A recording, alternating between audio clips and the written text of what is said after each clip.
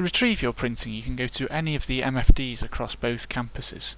Just walk up to the machine and swipe your card across the reader on the left hand side where the light will turn green. Pressing the home button you'll get the options whether you'd like to copy, email, workflow scan or release documents. To release documents from the printer queue you press the release documents tab and then you will get a list of documents which you have currently sent to the printer Select the one which you wish to print. There will be a box on the right telling you that it will be in black and white. There are two pages, whether it's one side or two side, and then you can alter the number of copies that you wish to be printed then. Once you're happy with the settings, just press the print button on the bottom left hand corner. And your documents will appear out the back of the printer.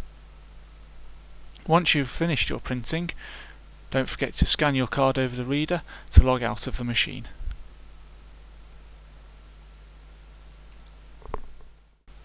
You can also email work from the MFDs.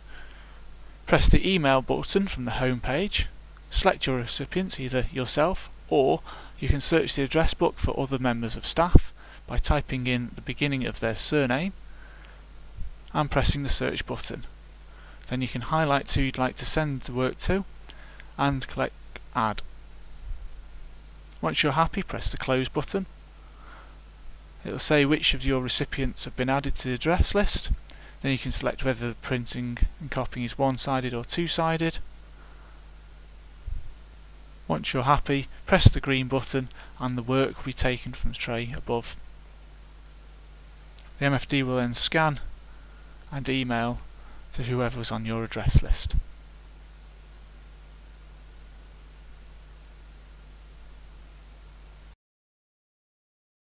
Copying can also be done from the MFDs. From the home page, select Copy, and then you have the options of whether you'd like it in colour or black and white,